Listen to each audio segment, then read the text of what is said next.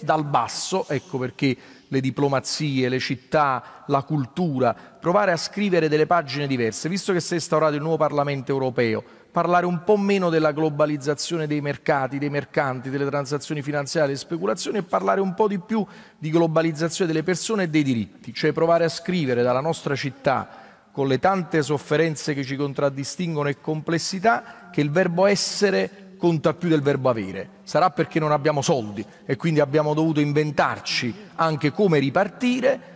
Io dico che oggi, ed è un dato straordinario, voglio fotografare solo questo, l'altro giorno mi ha chiamato il presidente dell'associazione dei bed and breakfast del centro storico di Napoli, ha detto voglio dare una notizia e credo che al sindaco farà piacere, per la prima volta nella storia della nostra città abbiamo dovuto, tra virgolette, respingere alcuni turisti in provincia perché in tutta Napoli non c'era un posto per ospitare i turisti. Quindi evidentemente si sta raccontando un'altra Napoli nel mondo. Quindi tra le tante cose di cui andiamo più fieri, dico andiamo perché non è merito mio, è merito della città, andiamo più fieri è quello di cercare di provare a ricostruire la Napoli della storia, per guardare al futuro. Ecco, eh, lei ha, ha parlato della, della spazzatura, de, della monnezza, così poi anche si è imparato a conoscerla in tutta Italia di alcuni anni fa. È, è vero che, che, oggi la città non è quella d'allora, è indubbio, però la montagna è, è, ancora da scalare, nel senso che gli obiettivi che si era fissata l'amministrazione comunale sono,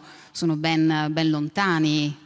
La montagna è enorme, i problemi e poi se ne va sono... all'estero ancora questa spazzatura, cioè nel senso che il problema no, va La eh, spazzatura è vinto, visto qua. che parliamo di un confronto e forse è l'occasione anche di approfondirle anche da parte voi, vostra una serie di temi, va una piccola parte all'estero pagando meno rispetto a prima. Le racconto un dato, prima i rifiuti si portavano in provincia e si spendeva qualcosa tra i 150 e i 170 euro a tonnellata, oggi per un periodo transitorio una parte vanno all'estero e si risparmia su ogni tonnellata circa 30-40 euro.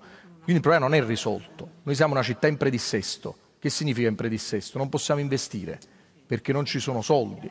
Quindi questo significa che quella montagna si deve tutta scalare. Ci sono i problemi che lei cita i rifiuti, ma io le potrei citare tantissimi altri problemi sulle quali abbiamo tantissime difficoltà il trasporto pubblico che non possiamo investire come vorremmo, però è la città che va in controtendenza, cioè la città che ci viene premiata come la migliore metropolitana d'Europa, è la città che tra due anni avrà chiuso tutti i cantieri aperti, è la città che ha avuto il finanziamento per completare la metropolitana, è una città che non restituisce un euro di finanziamenti comunitari.